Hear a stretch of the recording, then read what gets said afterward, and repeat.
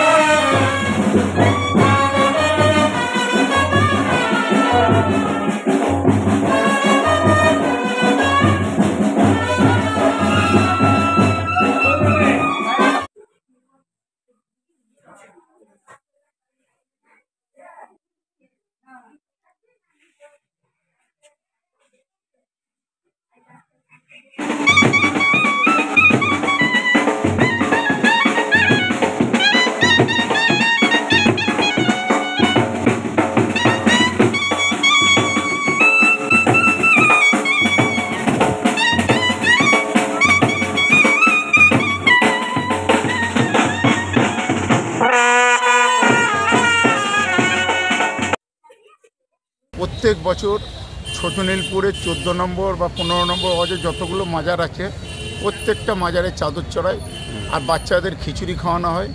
আর যে পীর যারা মানে বিভিন্ন জায়গাতে যেসে ভাতার থেকে, আসানসোল থেকে, আরামবাগ থেকে বিভিন্ন ধরনের লোক আসে যারা পীরপন্থী মেনে চলে।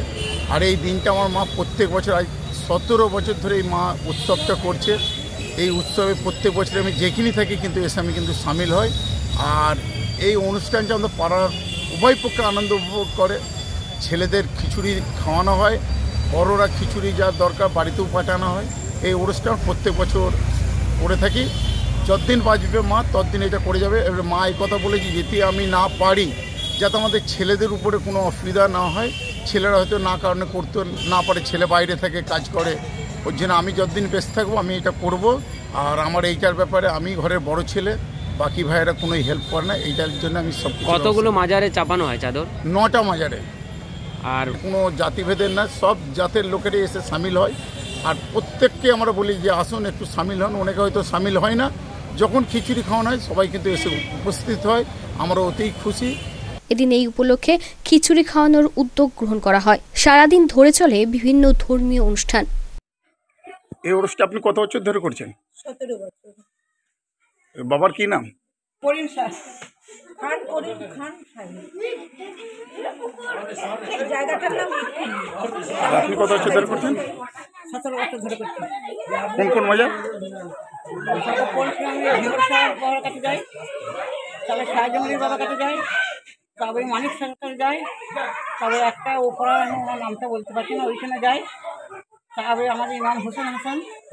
তবে আমাদের